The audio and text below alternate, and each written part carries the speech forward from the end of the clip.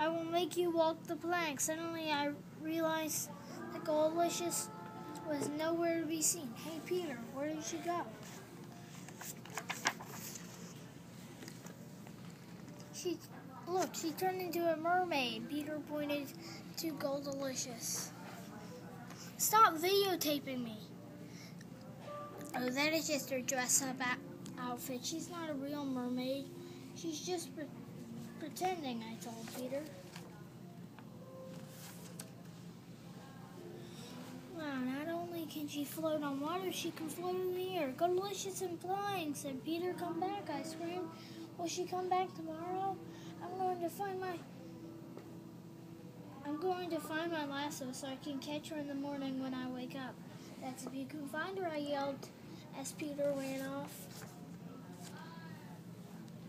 Goldie, you go? Have you become one with the universe?